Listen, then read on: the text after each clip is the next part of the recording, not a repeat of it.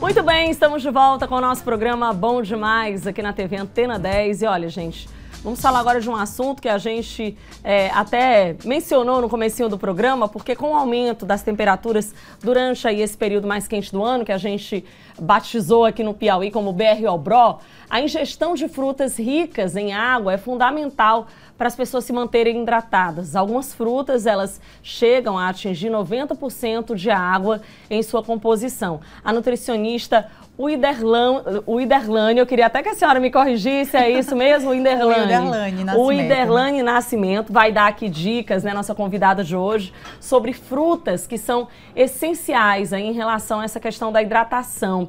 Bom, bom dia para a senhora, primeiramente, coisa boa, viu, tê-la aqui. Falar sobre a importância, primeiramente, dessas frutas, né, de, é, de fato, quais são as frutas ideais para a gente consumir nesse período? Então, nesse período de maior temperatura, a gente precisa ter uma atenção maior na nossa alimentação. Sim. E essas frutas que são mais ricas em água são melancia, melão, laranja, abacaxi, melão. Também temos os legumes, que são pepino, tomate, eles são riquíssimos em água, que ajuda na nossa hidratação. Qual a importância, então, de consumir essas frutas nesse período, doutora? ajuda na questão de bater a nossa meta de água. Se você quiser, eu posso ensinar para o público a calcular a quantidade de água necessária, porque a gente fala assim, tem que beber a quantidade ideal, mas a gente não Sim. sabe qual é a nossa quantidade ideal. Mais do que 2 litros, mas é muito geral. Se você quiser, eu posso ensinar aqui ao vivo. Bom, olha aí, gente, que interessante. Então vamos saber como é que a gente pode fazer esse cálculo. Sim. Qual é o seu peso? Eu tenho 70 quilos, gente. é uma pergunta tão discreta, né?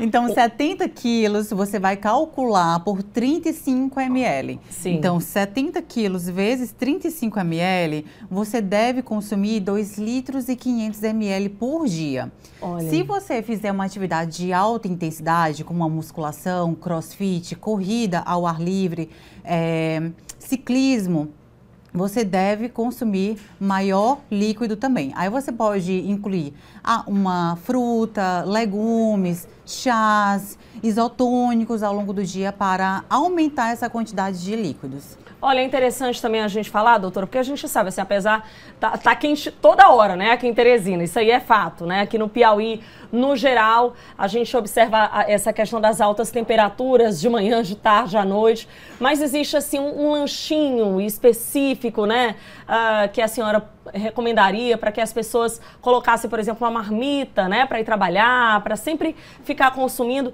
E existe, é, de fato, essa, essa história de você ter que se alimentar de três em três horas?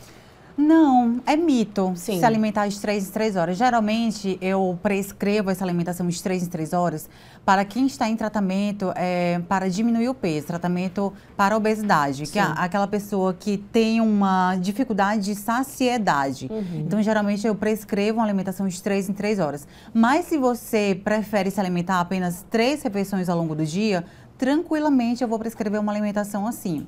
Mas não há necessidade de você consumir é, de três em três horas alimentos.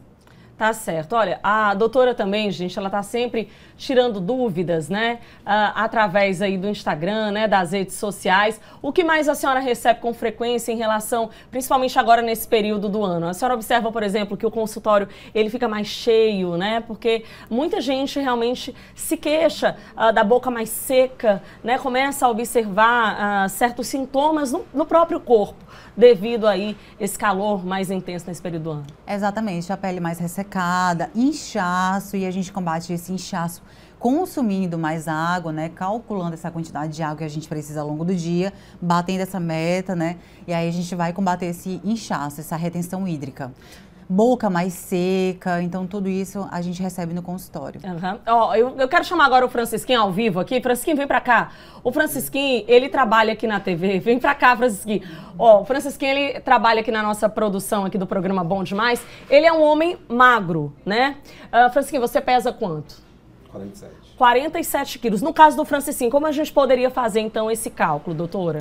Ó, então você pega o seu peso, 47 quilos. Olha aí. E aí você atenção. calcula por 35 ml. No caso do Francisco, ele precisa consumir 1 litro e 1 litro e 600 ml ao longo do dia.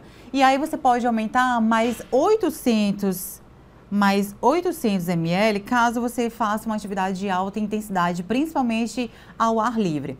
O que, que eu recomendo aos meus pacientes é evitar a atividade ao ar livre entre o período de 10 horas às 16 horas fazer em ambiente fechado e refrigerado e consumir bastante líquido. Olha aí, você tem costume de carregar sempre aquela garrafinha de água, trazer sempre para o trabalho, Francisquinho? Olha aí, garoto disciplinado, viu?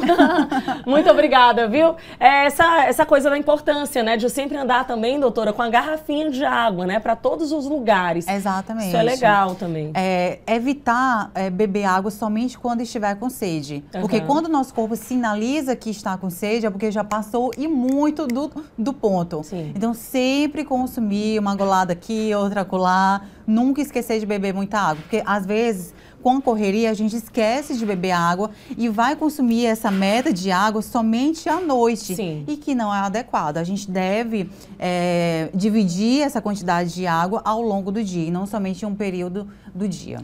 Bom, temperaturas muito altas, a gente deve consumir essa água natural ou gelada? Porque a gente observa que as pessoas acabam optando pela água gelada, né? Uhum. Para dar realmente aquela refrescância, doutora. Tanto faz. Você pode consumir em temperatura ambiente ou mesmo com gelo.